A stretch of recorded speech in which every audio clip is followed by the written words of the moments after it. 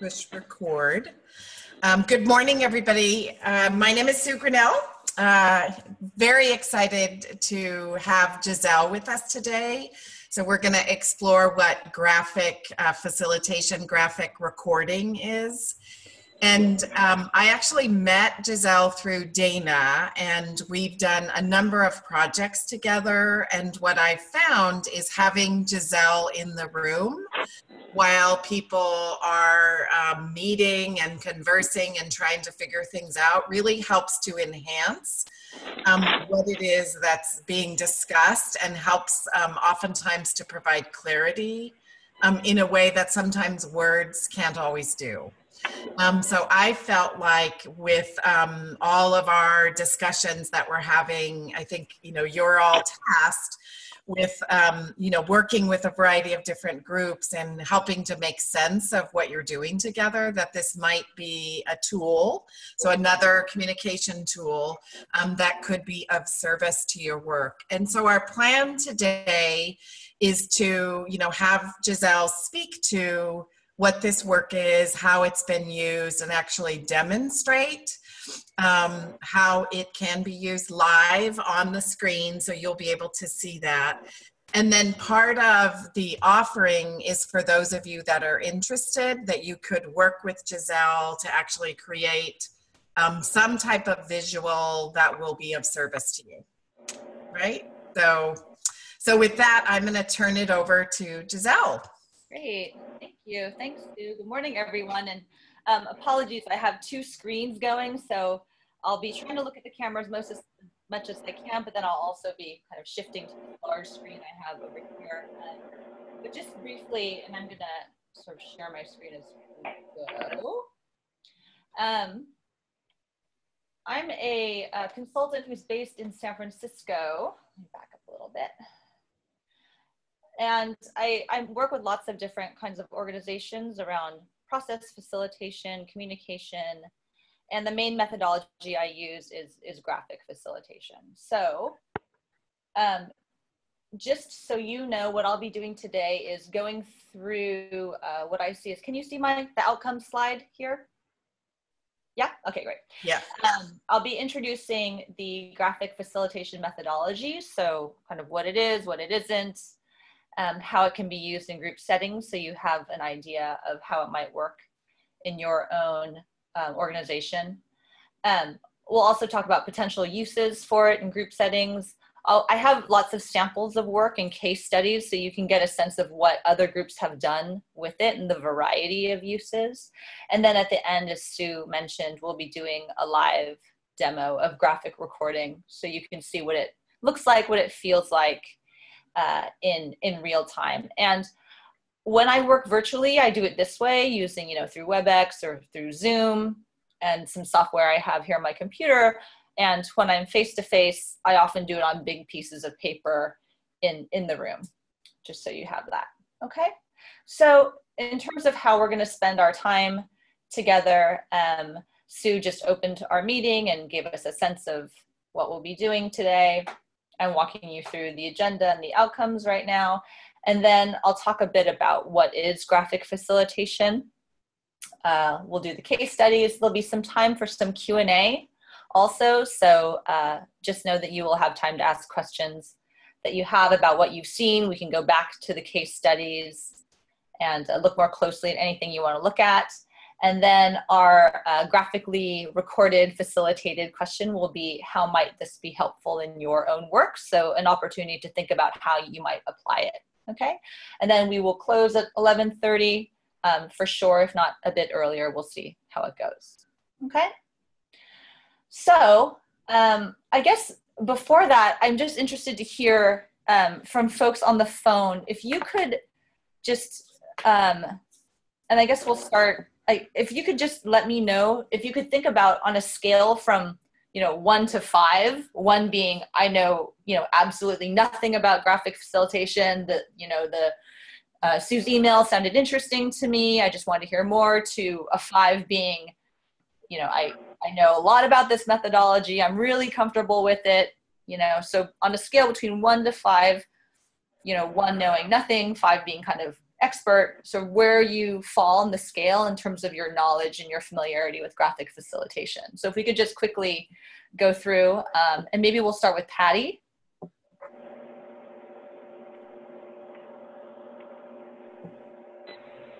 Hi, can you hear me? Hi. Hi. Um, I have very minimal experience with graphic facilitation, um, but I'm, I would like to learn more. Okay, so could you give a number, like between one to five? Uh, probably two. Okay, great. And then uh, what about Sue Kincaid? What about you? Hi, I would say I'm about a two. Okay, perfect. And then Lori?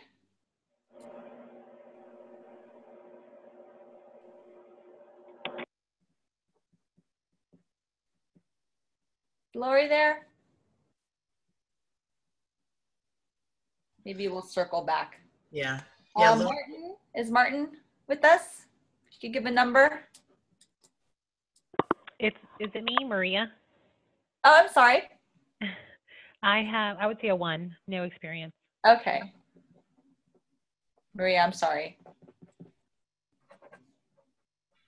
And then Dana and Sue, what about you? I I would say I am, you know, pretty well versed in it. Um, someday I would hope to be able to be just like you, Giselle. That's what I was gonna say. I want to be Giselle when I Okay. Did you have a Um, number you would assign? Um, I would say I have a deep appreciation for it, but how to do it, I would say appreciation a like 10 and how to do it like a two. Okay. What about you, Sue? I, I think the same thing. I really am in awe of it. So there's much this like what the value is, and and I would say probably like a you know a two to a three. Okay, great. So that's really helpful and um, just to give me a sense of what questions you might have or what you might be interested as we go through. And did Mhm. we get Lori back? Yes, hi, can you hear me? Yeah, hi. Okay, sorry about that. I forgot I had put my mute button on. um, yes, so I have seen this in action in a number of meetings that I've been at, and so really seen how well it works. Um, but, um, but, and, and people have told me, oh, you should be doing that because Oh wow! I have kind of a graphic background at it, but but it, when I when they say that, I think, okay, well, I know nothing about it. But when I see it in action and working, I think this is the best thing ever. We need to use this more often. So I probably fall somewhere in a three in the overall understanding of it all. Great. All right. So we have like a few, like a one, we're kind of between ones and threes, maybe a little bit higher on an appreciation scale, but in terms of familiarity, maybe sort of between one and three, it sounds like. Great. All right. So hopefully what this also does, you know, for people who have experienced it before, will also give you a sense of um, some of the, some of the foundational thinking behind some of the methodology and you can see um, some other uses in addition to what you may have seen before. So, all right, so um, we're back to this slide, this what is graphic facilitation um, slide I have here. And one thing about this methodology is it's still relatively new in that it's probably about 30 years old in terms of practice. And sometimes people use different kinds of terminology um, to refer to different kinds of ways it can be used in group settings. So this is um, the way that I think about it and the way that I conceptualize graphic facilitation, and it really has these components. The one component, which may, maybe perhaps uh, folks are familiar with, is, and certainly the work that I've done with Sue and Dana, is uh, live graphic recording. So working with facilitators who are in the space. Um, the graphic recorder is uh, sort of part of that team and also on the side listening and capturing the work of the group in real time using text and graphics. So that's live graphic recording. Um, also, there's sometimes the use of pre-designed templates. So for breakout groups, and I have examples of these that you'll see, uh, breakout groups are maybe processes that are repeated. Um, I've designed visual templates for uh, teachers at a school to do their professional development goals. So a process that they're going to do repeatedly or a process that you want to do with smaller groups where you want to get similar information back. Uh, a pre-designed template can be really helpful to guide that information. And then, of course, also best facilitative practices, right? That we all know around, you know, purpose, uh, the dynamics in the room, the, you know, the logistics side, making sure people are comfortable, the space is, um, is uh, sort of friendly and welcoming to folks, making sure that the agenda um, is, is designed thoughtfully, which is gets us to what bounds it all together, which is the process design. So how you make these uh, pieces real and uh, for the group in a way that um, gets people to where they want to go to their sort of predetermined outcomes. Okay, so those are the um, often people uh, have experienced graphic recording and uh, perhaps um, the template piece is something that they've seen less often, but I'd be interested to hear your feedback on that too. So just in terms of uh, some of the benefits of graphic facilitation, I think there's a sense that when you've been in the room and you've seen it, you're like, wow, this is, this is really engaging, but just a little bit about, uh, a little bit more about the why around that. So part of it is the engagement piece, right? So um, it's something that I have noticed that when I write down exactly what people say on a chart, there's a sense of group ownership and acknowledgement, and a sense that people can contribute more fully when this methodology is used. Also, working in this larger panoramic way, um, there are lots of patterns that get uncovered people tend to be pretty fascinated by what will happen next you know and it's pretty straightforward and pretty simple but there is this kind of unfolding drama about what will happen um, in the graphic recording. Um, this one here if recording is faithful people feel respected. If it's not accurate they're drawn to make corrections and additions. So it's very easily um, validated. So often if i I am recording something, people would say, "Oh yeah, that's exactly what we mean. That's exactly what I, you know, uh, the way we should move forward." And if it's not, people will often correct me and say, "Actually, it's more like this," or "Could you change it?" or "Could you add this to it?" Right? Um, but what happens is um, people tend to create, co-create the same narrative and come to consensus about that narrative. Um, as they're working right? So i don't know if folks have had the experience of being in a meeting and you know with a big group of people and you leave the meeting and someone says you know oh you know can you believe that this thing happened and that we talked about this? And the other person says wait i didn't experience that at all. But it's almost like people were in different meetings even though you're in the same room. There's something really powerful about this methodology is that you're creating alignment through the methodology in real time. So it's also very efficient. Okay so, um, also a little bit more about the big picture thinking. Sometimes people ask, well, why do you work so big? Why is it so large? Um, and that is to really help encourage people seeing relationships and big picture patterns and themes.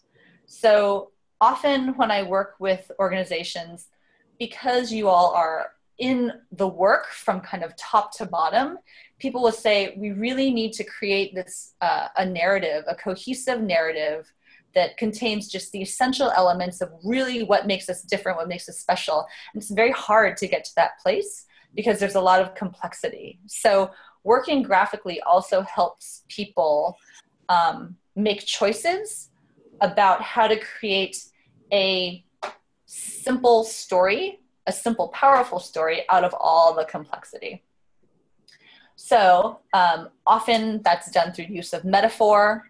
Uh, often that's done through use of using characters or you know people in your community. Um,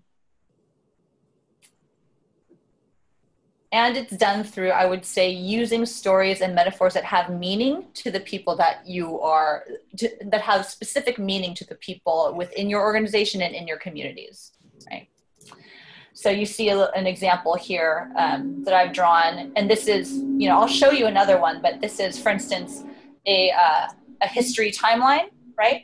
So by placing in real time all of these different uh, events that have happened throughout the, an organization, people start to understand the patterns that organizations have been through, some of the themes, what they might want to change, what they might want to retain. Okay. And then finally, uh, the group memory piece.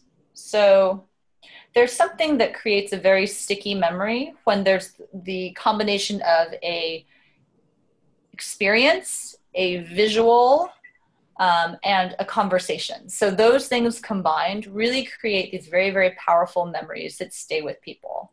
So part of creating these large graphics is they have use and value in the space during the convening, but they're also very powerful ways to remind people of the work that took place after the fact.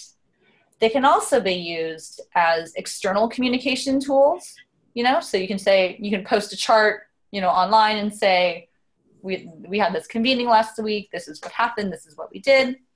You can also use them as internal work tools or communication tools. So remember last week we met, we came to these three agreements. How are we doing on those? So you can also use it as an implementation tool as well. Um, I would also say that more recently I've had people uh, take charts that I've created and grab, you know, smaller images or uh, little drawn vignettes that I've that I've uh, created and pulled them out and use them in other kinds of communications. So putting them on emails or for instance, I'm thinking about a group I worked with, and they had um, these five categories, and all of their work was going to fall within these five categories. So, whenever they sent out an email reminder to the team, they pulled out an icon that I had created for that category, and they just placed it right at the top, so people could see immediately. Oh, this one is about learning and development. Oh, this one is about governance, or whatever it happened to be. So, it's also a way of organizing communication after the fact. Okay, so now I'm going to walk you through uh, some samples. And if you have any questions about what you're looking at, I know it's kind of like a lot of information, please let me know. And if um, I feel like we need to move on because of time, we will and we can circle back, but please feel like you can, you can pop in and ask me questions about anything you see. So if you remember those three circles you know that what is graphic facilitation um, you know venn diagram that i showed you earlier one big circle was around graphic recording so the live capture um, of work as it's happening so this is an example of a graphic recording i did you can see the speaker is john boudreau who's um, who works at usc um, a research director there who gave a this is probably a, a 45 to one hour talk on uh, the future of HR. So you can see what I did here is I started here on the left, and he talked about these five forces of change, and then talked about um, these other sort of three ways that um, that he that he saw the future of HR moving into. Okay, so you see um, a combination of text, graphics, illustrations, and also what I tried to do with this group, it was interesting, and I don't know if you can tell from looking at this, but on the left, his his um, he was he started a little bit late, so I think he wanted to get a lot of information out there. So there was like a lot of really rapid stuff coming at me on the left hand side, and then on the right, his thinking became a little bit more to me a little easier to follow. So I was able to kind of fall into that pattern of the one, two, three there. So that is graphic recording. I think this is probably what some folks re referred to before as what they'd seen previously. Um, here's another one. This is uh, something that I did for a consulting company um, down in Redwood City who brings in various clients. So this was, the title of this talk was Technical Governance for Modern Enterprise. So you see again, they've got these sort of five um, sort of major um, sort of areas that they were covering: speed, alignment, efficiency, preventing stagnation and embracing learning, and these other models.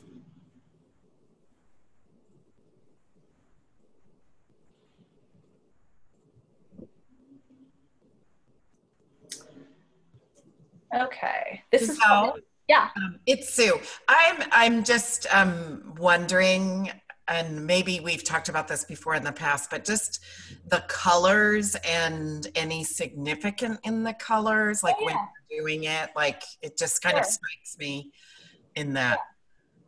So yeah, thank you. Um, I think what I tend to do now is I tend to to stay a little bit more spare, like spare on the color palette. I tend to choose the colors ahead of time and stick to those colors.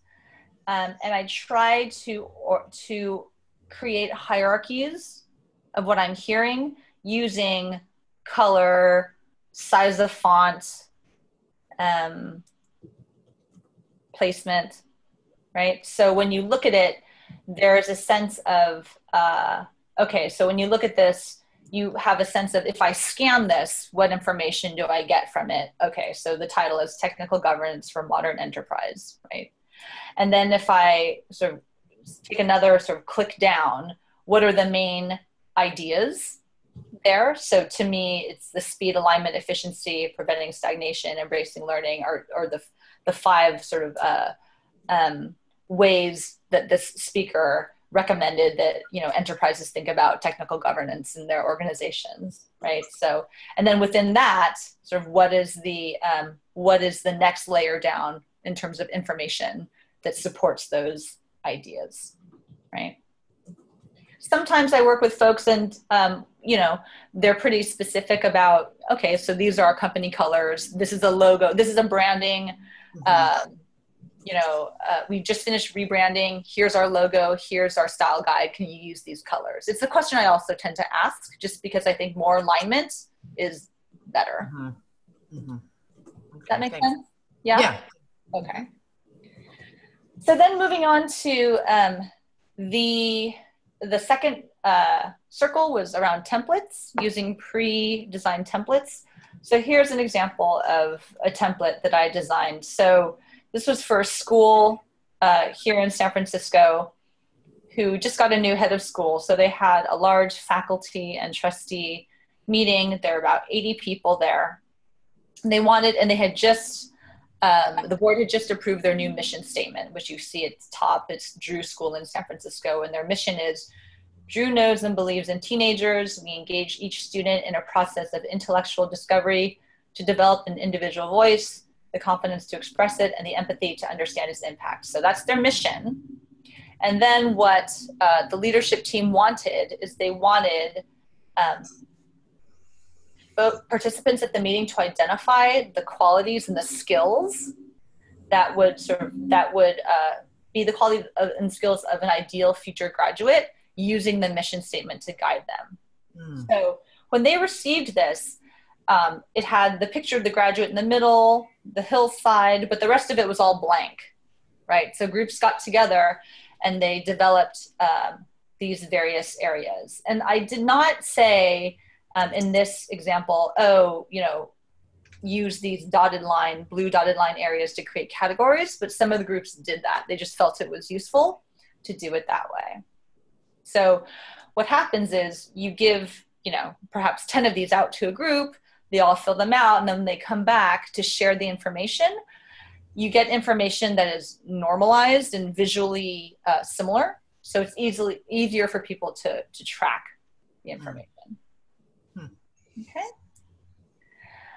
Um, this is an example, again, of a template. Um, this was a meeting that I did for uh, uh, SFUSD here in San Francisco. This is their educational placement center. So the school district here um, has, as every district does, a large office where families come to do placement for their for their children for entering school. So they had a retreat uh, that I did, and you can see how on this one page, again, this is a template that is initially blank, and then I filled in some of this, and we also did some of this as a group. So I came in with the outcomes on the right hand side, you know, that are um, that were already filled in that I had determined with the leadership team. And then we had we had worked out some of the agenda pieces, but not all of them. So we left it up to the group to decide how they wanted to arrange their day. We had components and things that kind of had to get done, but then there was also some choices that we could make.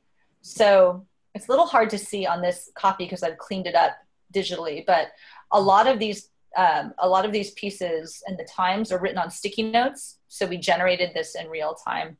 So based on the outcomes, how are we going to get there? What's the agenda that will get us there? And then as a group, we talked about roles and responsibilities. So what are the behaviors that we wanted to see in this meeting? So here on, and this was a four by eight chart that hung in the space that was there all day that people could refer to throughout throughout the day. So when this chart was was first, you know, um, displayed, it had the outcomes and everything else. All those white spaces in the middle were pretty much blank except for the title. Okay. Okay.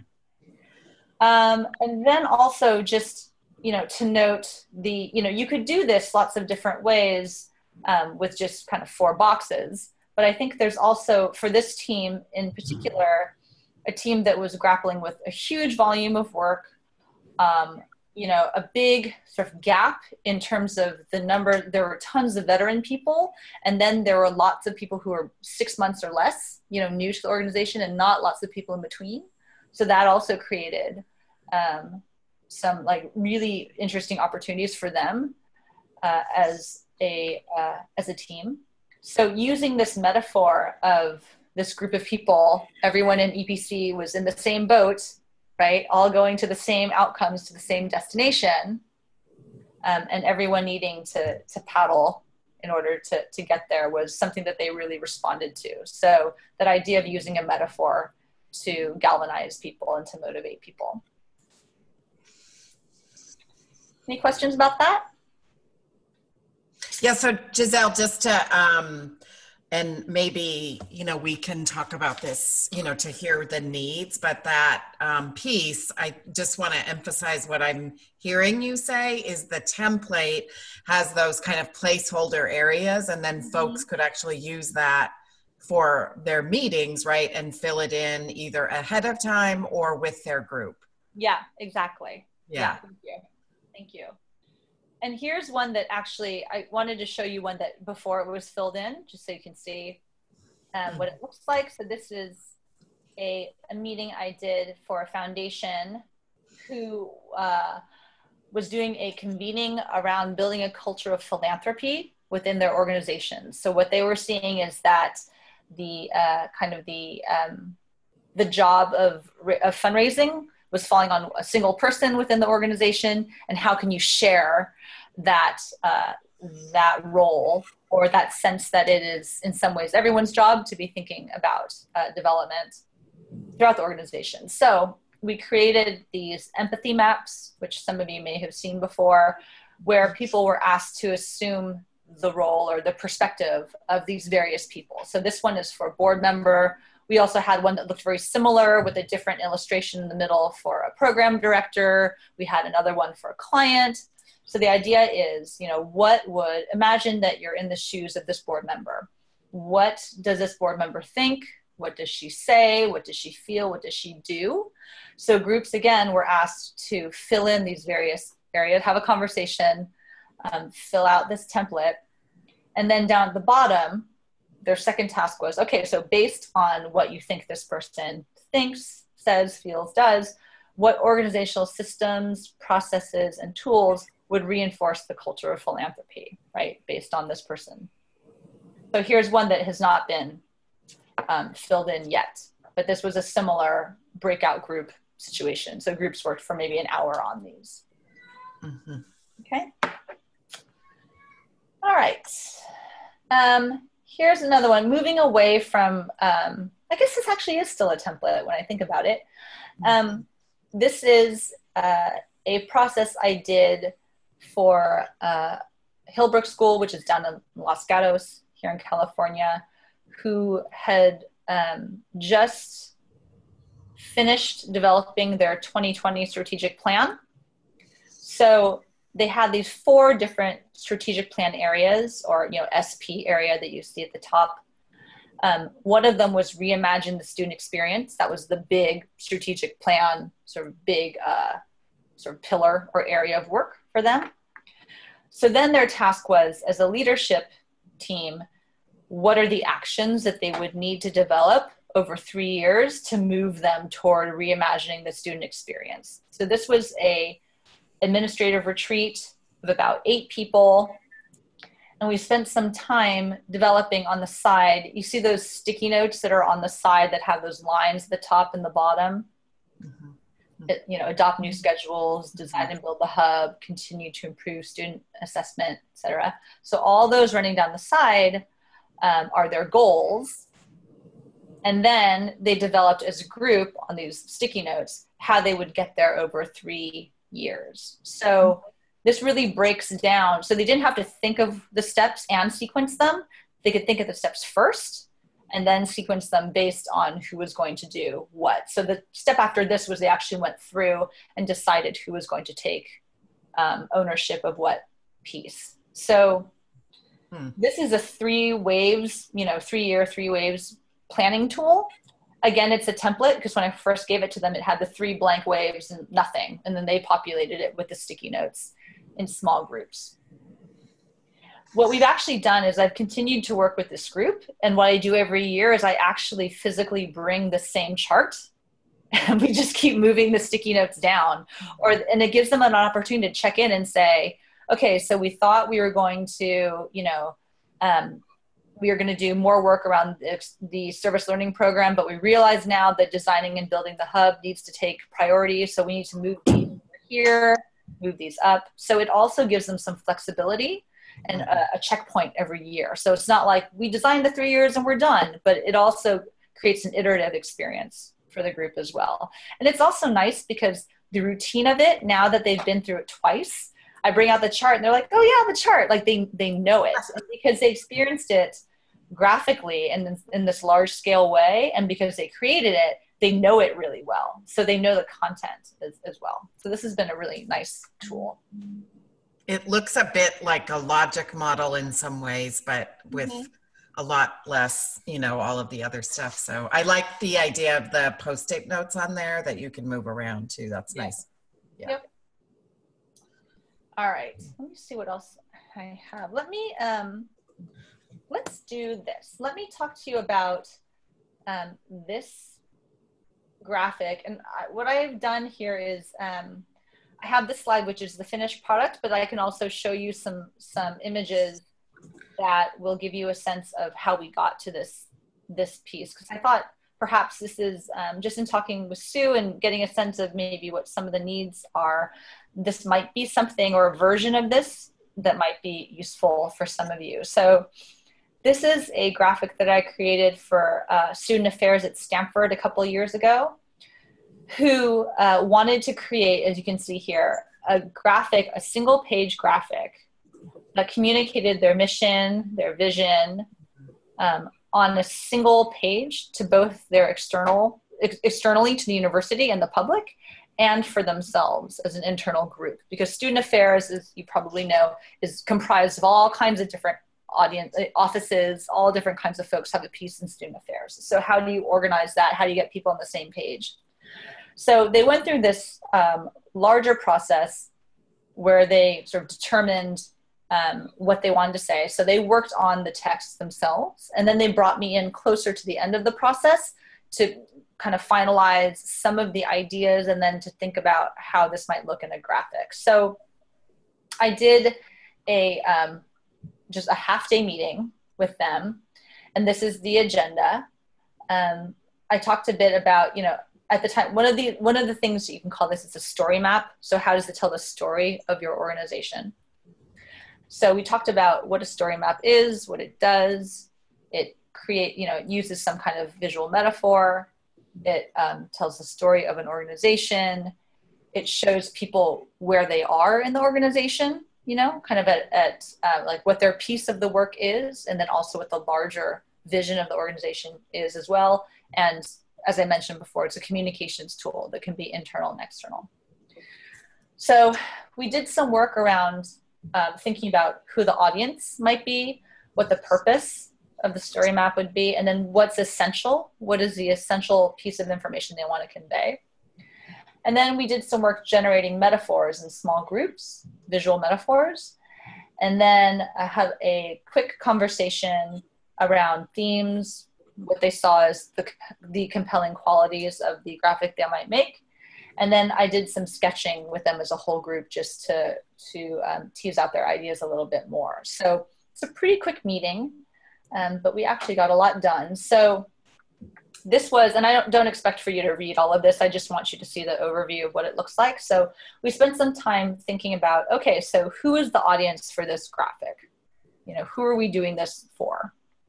And they generated, you know, um, various stakeholders. You can see they got campus partners, students, committees, alumni, donors. Uh, what is the purpose of the story map? Some of the um, things they mentioned was to build belief in the program, to brand the program, to educate, um, for it to be fun, different, creative, to communicate the values student affairs. And then what is the essence of what you want to tell? So um, now here we start to move into a place where people are starting to think about metaphor a little bit. So uh, some of the responses are, it's a dynamic system. Um, we change and then we act and then we're acted upon. It's evolving, it's enduring, um, making meaning of all the parts of the program. It's rooted in core values. There's an artistry and a science of what we do.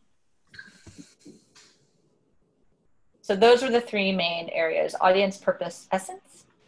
And then from there, again, and this is an example again of a template. This is a really straightforward one I just did on a flip chart. So I handed out a bunch of these to groups of three or four.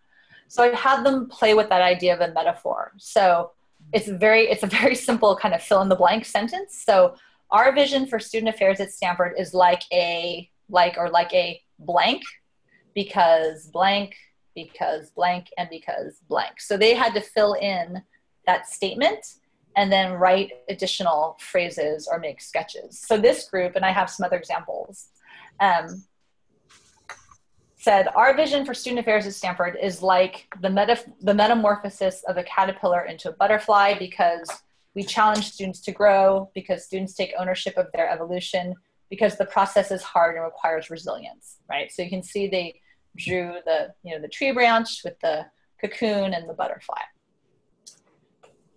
this group, oh, they did another one. So they did um, our vision for student affairs at Stanford is like a coast redwood because it's a structurally complex organism, because it supports sizable communities made up of individuals, because it is diverse, ever changing, and impacts the environment around it.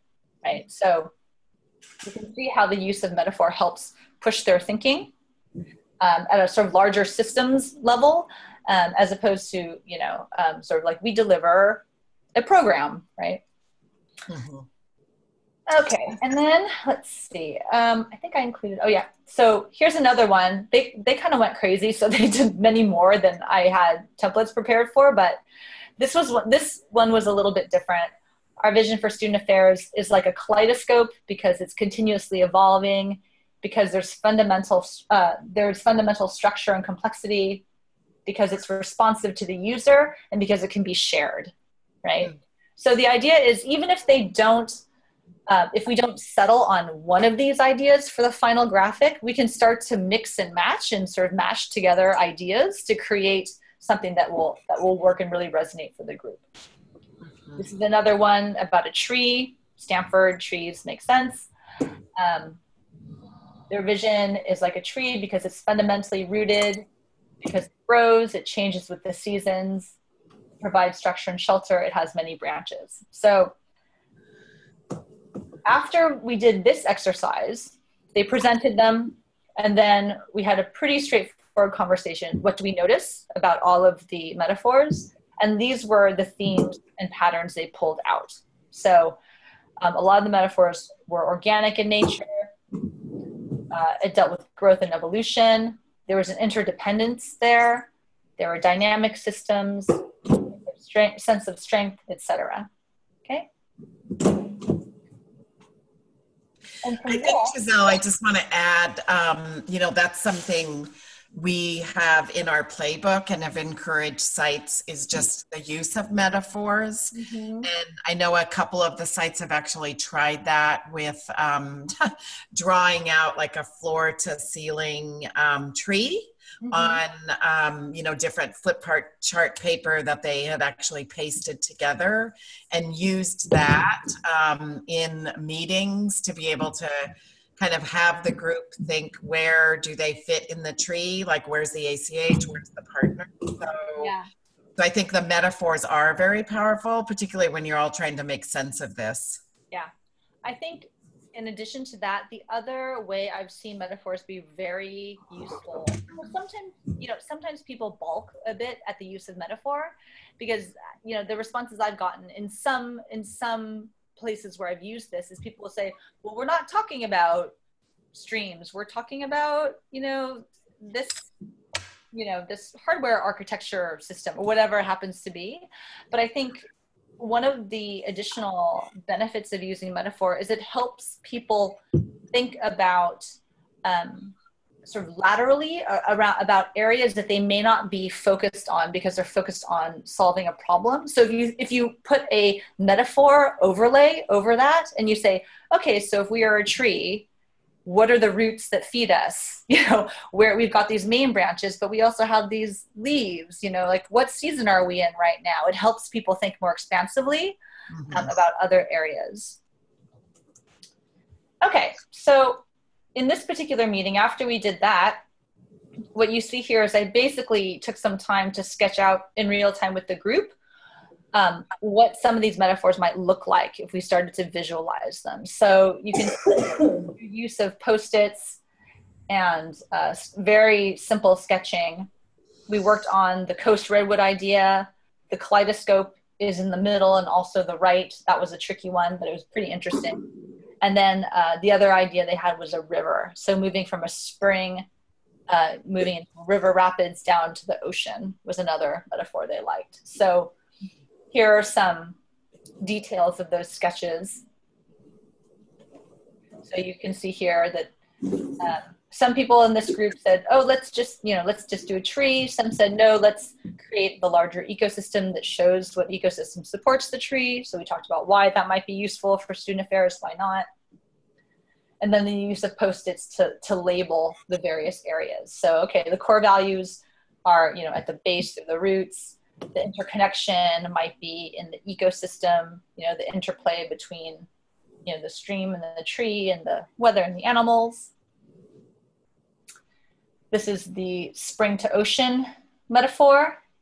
So people liked this one because we could, it featured uh, little vignettes of people, you know, engaged in various activities around student affairs in this space. And then this was the kaleidoscope, which we ultimately did not go to. As you saw, we went with the, the tree. But this was interesting in that it, it because so many of them were nature based, just to work with a different kind of metaphor, I think even though we didn't go with this one, it ultimately informed some of the work that showed up in the final one. So the idea that um, there are various lenses, that it's uh, user friendly, that everyone who looks through the kaleidoscope sees something different, um, it's adaptive, right? Um, was an interesting idea. And here we tried another version of what it would look like graphically. So this one is um, more like seeing the overlapping lenses. I think they were thinking about their various um, offices or services as one lens, and then you know you combine different lenses to have a student experience. This one's slightly different, um, where we tried to to have a different perspective of um, you know someone looking out. Are you looking? Is someone viewing through the kaleidoscope, or is someone is someone like seeing it projected somewhere? So it became a little bit too unwieldy, but it was an interesting idea to work with for a while so then from there after so this was in the meeting and then after i went away took the information and i developed these sketches of the top ideas that people felt most compelled by so this was the um, this was the river this was the spring um, to uh, ocean. So I actually, once I got home and started thinking about it, I started thinking about um, water cycles. You know, so you can see up on the mountain, there's rain that's trickling down, that moves into these pools, and then eventually moves out to the ocean. And and there was something compelling about this idea of um, students graduating and then moving out and sort of sailing away, you know, from from the landscape. So this is one idea.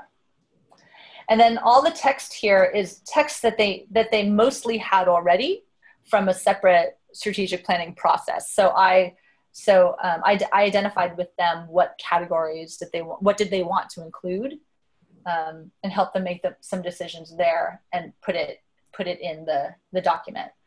Part of the reason I wrote it all in is because um, they were really attached to this language because they'd spent a lot of time on it and they'd done it um, kind of in this uh, not by committee of exactly, but they'd done it as a group. So there was a lot of investment in this language, and I think they were very, very um, uh, they were reticent to give any of it up. But I think part of the reason I wrote it all in is I wanted them to see that it was just simply too much text um, for what they wanted to convey. So this is the tree of the coast redwood. And we had this idea uh, to put in the campus building behind it. So you can see, um, you know, if you've been to Stanford, you can see the tower there, building, their vision for student affairs. Their vision is up in the top right.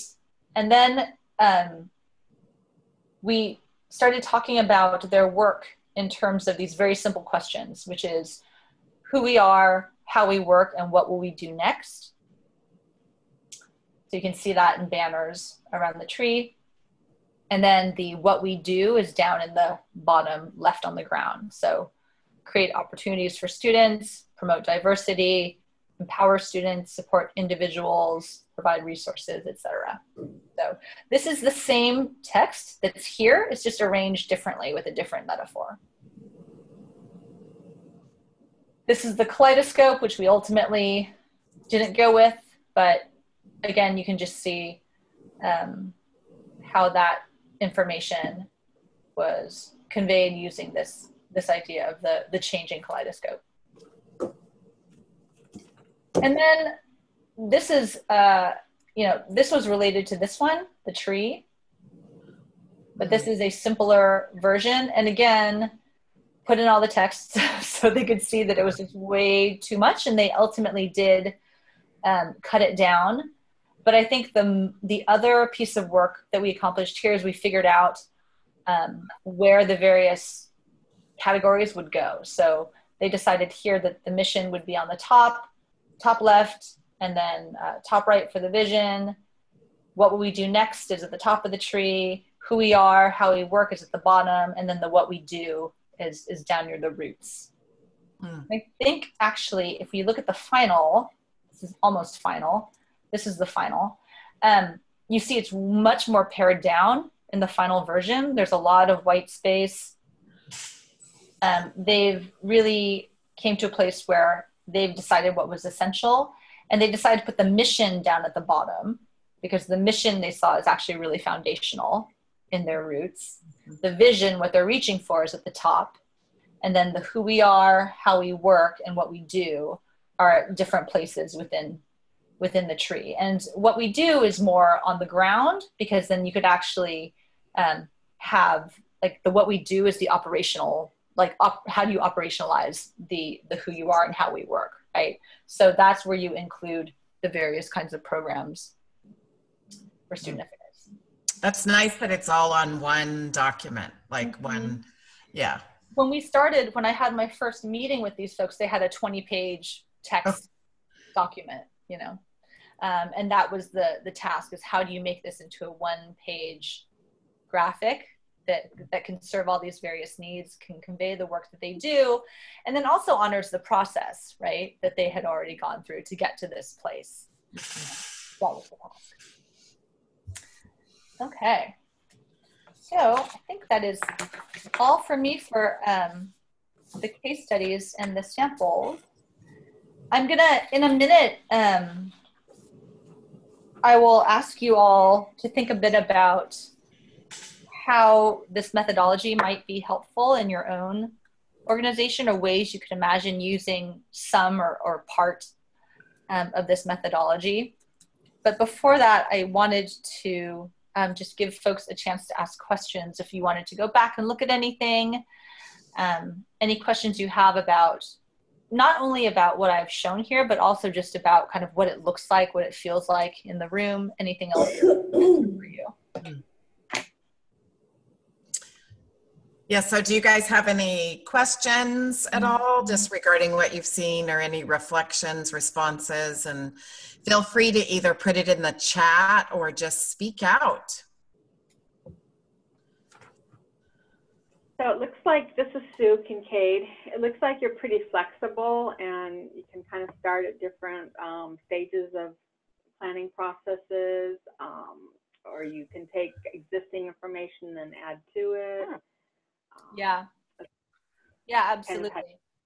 and sometimes i and sometimes we have created um created things from the the beginning you know but there's always something that's pre-existing within the organization you know so here's our and, and sometimes it's also a way to articulate the complexity of lots of different arms of a program or arms of an organization right so we have for instance if an organization has you know programs partnerships grant making you know how do you how do you and more right? How do you articulate that in a way um, that conveys all of that information in a simple elegant way? Um, so so i would say that that it is definitely at any part of the process. Sometimes some of the work is done sometimes it's all done sometimes that's that's part of what i do also. And often because i'm not in the organization a lot of it is just asking what i hope are compelling questions right so okay, so it looks like you have this strategic plan. How does that align with these program goals? How does that work with your, you know, with um, directors, you know, professional goals for the year, or how they're how they're providing leadership for their folks, right? So a lot of it is asking those kinds of questions as well. Okay. I'm, I'm thinking of like a, um, a mini retreat that we're talking about doing this summer where we have established our goals for the coming um, grant year um, with our, grant, our funder from July 1st on, but we want to kind of dig deeper and like what what is what kind of specific steps and you know what do we agree on? You know what's the wellness fund going to look like? And um, that kind of thing so Mhm. just trying to imagine something like this in that situation Mhm. Right, right. where we're trying to get agreement you know where somebody you know we all have certain thoughts in our heads as we put the words down on paper but when we sit down and really talk about it different ideas come out and then we Mhm. oh okay this is what it's going to look like Mm-hmm.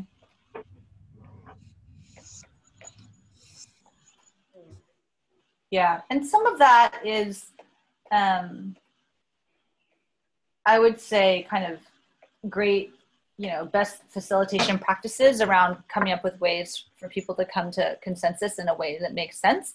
And I also think that there are things that can be done graphically in group processes that make the, um, that make that make groups converge pretty efficiently. And then afterward, when people leave, you can bring them back around the graphic, right? And say, because people leave and then they do their daily work and things happen. But then the next time you meet, you can say, okay, remember we were at this retreat. Here's the graphic we produced. Here's that area where we really came to consensus around these five things that we want to do, or these five agreements or principles or whatever they are. And it's part of that um, record that was created as, as a group, you know? Right. How many people want to go back to an Excel spreadsheet and look at their, Yeah. their unless it pertains to them personally? Oh, I, you know, I think it's, it's also interesting you mentioned that because um, sometimes I've been asked by people that I've worked with to take what I've done and type it out, you know, afterward. Uh-huh. And I've always pushed against that because part of the power of doing it graphically is you look at it and you instantly remember. Like people instantly remember where they were, who they talked to. Maybe someone told a funny anecdote and I've drawn a little picture of part of that anecdote. And it creates a very sticky, enduring memory. to look back at the, the charts that were created. Yeah, and I was sharing with Sue Grinnell um, that I was at a conference recently and um, I was trying to process everything, and it was really helpful to kind of draw it out and kind of apply it to our um, collective impact FTIP, you know, and mm-hmm. kind of where do, what do we look like based on what I'm hearing and so on. And that was kind of fun to do. Mm-hmm. Mm-hmm. So it's also a way of testing, of, of figuring out how it's a work tool, right? So I think sometimes, um, and I and I also something else I try to caution people against is the finished product is engaging and you know well done and and you know highly presentable. Mm-hmm and at the heart of it it's a communications tool and a work tool you know? Mm-hmm. so i hope that that also like that it's also part of the process is that people can use visual tools to to uh, think differently about whatever problem they're trying to solve you know? Mm-hmm. no that's great. I really appreciate it. Thank you. Yeah of course. Yes sue actually was drawing when she was in atlanta and she sent me a picture. It was very rough no, but it's good. I mean, a lot of people do doodle or try to make sense of things. I think, particularly because you guys are all trying to figure out your structures. That's that's a big one. I think where how does this fit with this, and how does that? Because everybody has an idea of sometimes like who's on top, who's who tells who what to do what, right? All of those things. So I think you know my experience has been with. Um, this tool, right, this process, it, it helps to get clarity around those things. Mm-hmm. mm-hmm. Yeah. So. Can people see well, I right think now? you can. Go ahead. Are you able to see me drawing right now? No. Oh, really? Okay. Oh. okay. Let me see this. I've been, as we've talked, I've started to do this. Let me see. Well, I even thought about it um, in, in my personal life. Like I keep thinking, okay, I need to do a timeline of our family, you know, and for mm. the kids and things like that. So then I had this idea to take those big sheets and put them down the hallway and just start from the beginning and just keep adding to it for the for our kids and have mm. them add their stuff too. Oh, fun! Right. Yeah, right. it's true.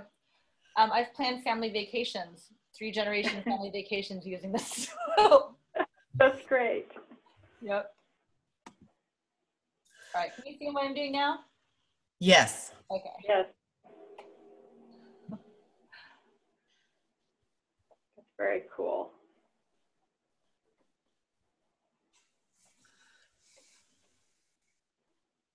Anything else? Potential uses and or questions?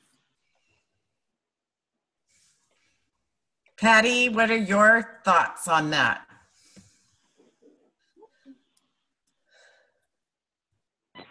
Um, I am really impressed by Giselle's artistic skills. um, and what I'm thinking of is, you know, wow, this is, is really great. I think it would be really useful for our uh, work. But then I think I'm not a good artist. so I think what are some tools to use when you lack that sort of, you know, artistic flair? So what I would say is, um, I think, and also, so I think part of the next steps for for this group is to have me available for um, some potential coaching with individual sites to see what would make sense. Um, so that's one piece. And um, to the question about skills, I think the use of templates is actually a really, really um, great scaffolding um, a way to sort of scaffold the process. So it's not, you know, if you recall those first images I showed you, that was graphic recording, like put up a big piece of paper, it's blank, stand there, wait, and start drawing, right? So I don't think there's the expectation that that would be the way to go in a group process, right?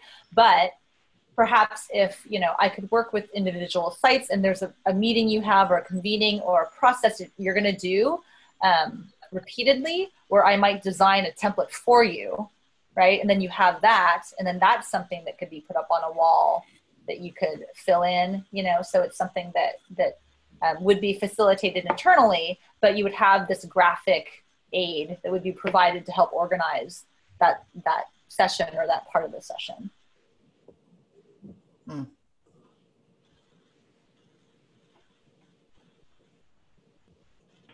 Hi, this is Laurie in Lake County. Can I ask a question? Oh, of course. So Giselle, the whole Stanford um, group of boards that you had and coming to, you know, the final tree graphic.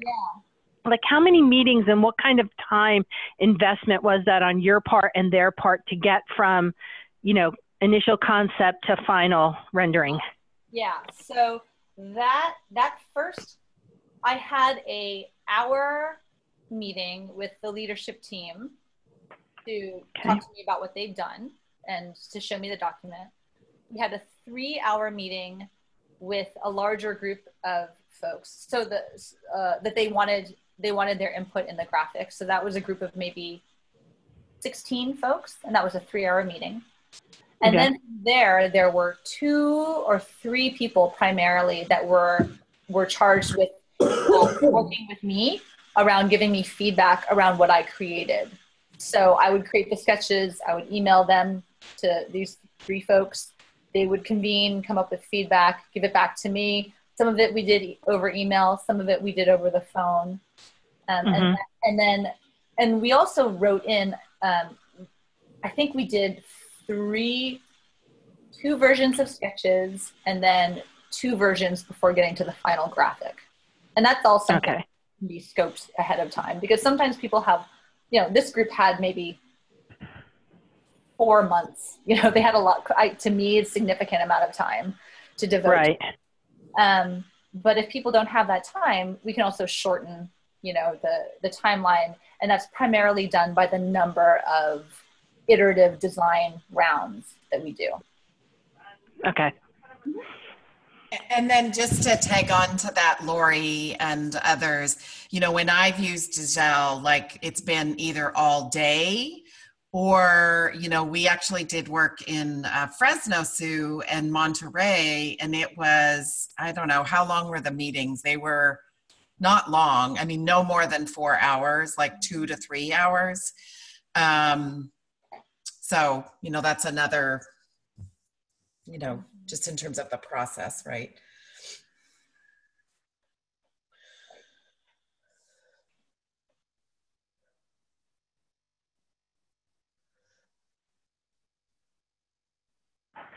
So also on the graphic recording, when you're just coming in with that blank page and you're kind of going through that uh, keynote presentation or whatever it might be, um, at the end of that presentation, is that finalized or you take that with you and then kind of clean it up and, um, you know, do some extra flourish on it and then send it back?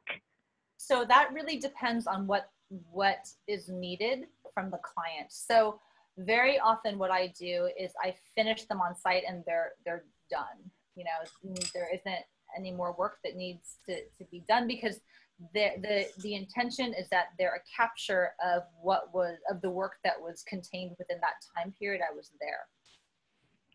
Okay. If, however, if the folks want to use it as an external communications tool, I often don't advise that they use the graphic recordings the way that I sh- the ones that I showed you for an external tool because those are really created for the benefit of the people in that room, you know, who were there. Um, if there's a need to uh, have it be an external tool, I would probably advise looking at it again, sitting down with someone and saying, okay, so this is what happened. what do you actually want to communicate from this meeting or from this talk, right? Maybe you don't want to include this portion where he talked about where he went to college for 15 minutes or what, you know what I mean? Maybe you want to focus on, uh, you know, the impact. You don't even want to focus on the three steps. You want to focus on the impact stories he shared, right? So, so that could be a built-in, you know, an, an opportunity that can be built in, right? If it wants, if there is um, a desire to share it externally. Okay, so you're doing the graphic recording right there, finish it, and then maybe follow-up meetings to create almost an additional graphic for them to use externally. Yeah, yeah. Okay. One or yeah, or instead of Okay. using that one externally. Yeah. Gotcha. Okay, thanks.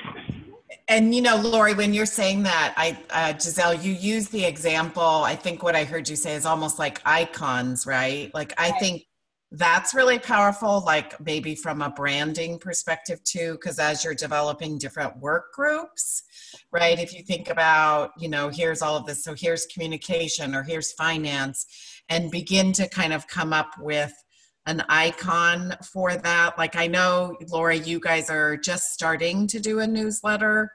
Um, you know, having, um, I think what I heard you say, Giselle, like that's also possible, just in terms of like creating that for um, an external audience.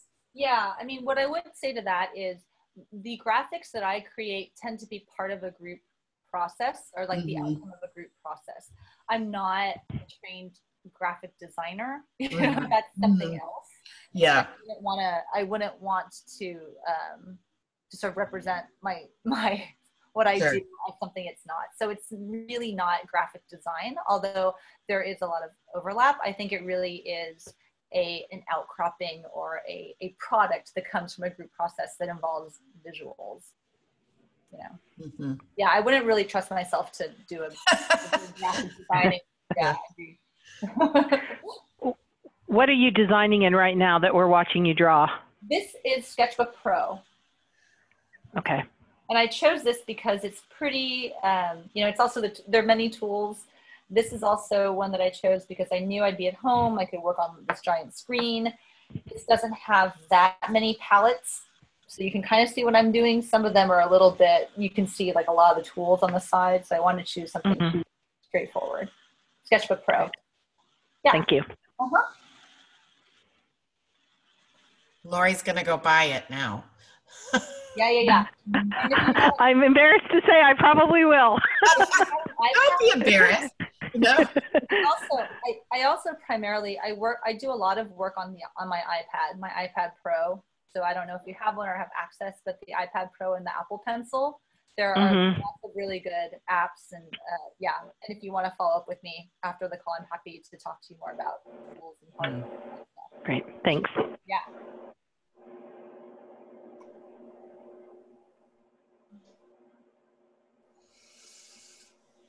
Any other questions or?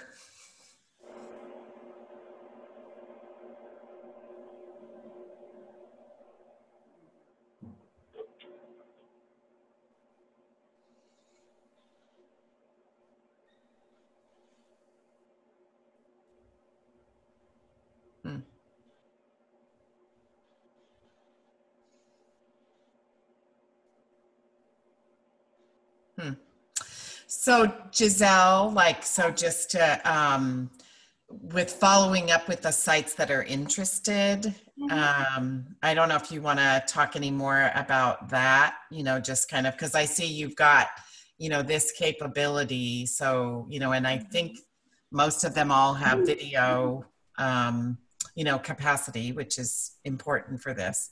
Mm-hmm. Mm-hmm. Yep.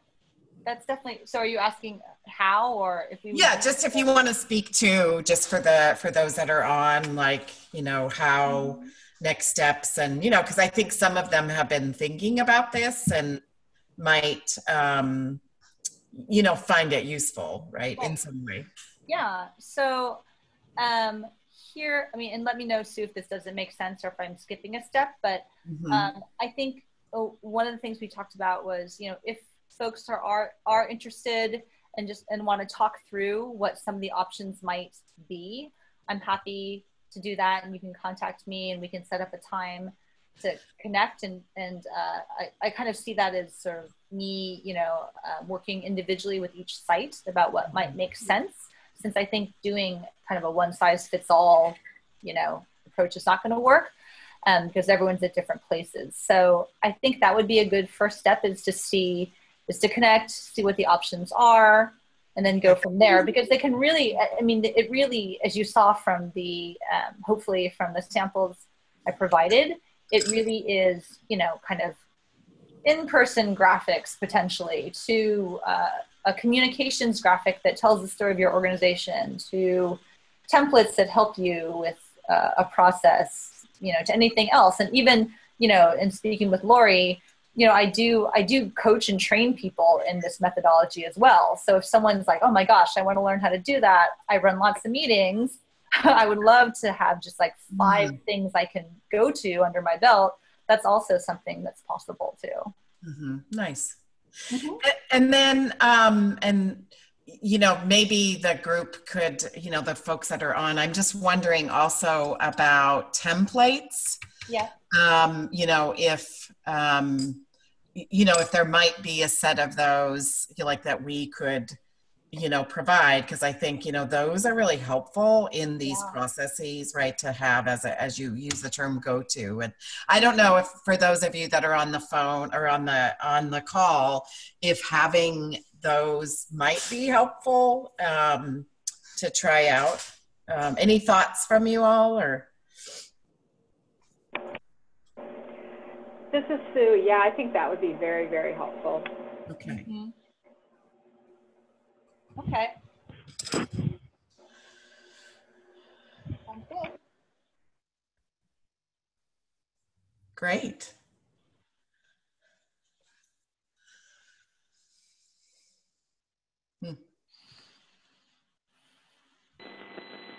Sue, this is Patty. I, I also think that having templates would be really, really helpful. We have a partnerships and communication work group um, that launched a couple months ago. So I think it comes at a really good time, and this is something that we could bring to them um, as a way to also engage our partners in the process of creating these visual tools.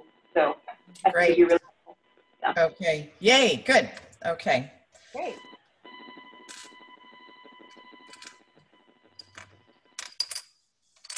All right.